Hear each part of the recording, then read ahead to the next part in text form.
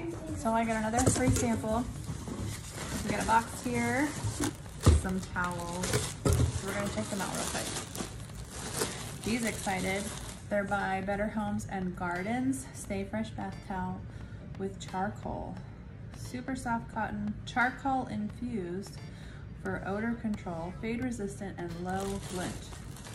Interesting. I've never heard of towels having charcoal in them. All right. so we're getting him excited. All right, got him opened. So I got one towel. It feels nice, it feels soft. Here's what our material looks like. Here's our label. Um, I get these reviews from Walmart or these items to sample from Walmart. So this is my beginning video. We're gonna wash it and um, see what happens. It smells like it's been in a box. So we'll go from there. All right. Next video you'll see will be after we've washed the towel and see how well it works. Even the baby wants to feel the towel, right? You want to feel the towel? Yeah. See, that feels soft. Yeah. Yeah, it does.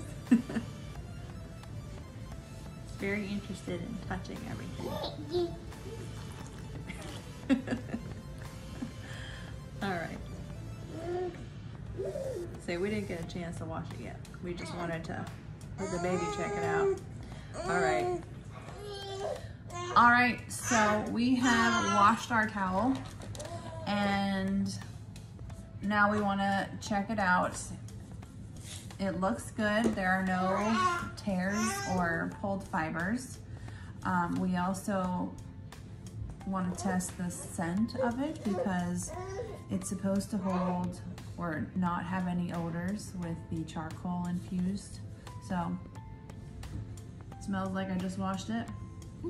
Yep, so, um, it's still maintained its good consistency. I don't know, I've had towels before that I thought they were super soft and then I washed them and then they felt like crap.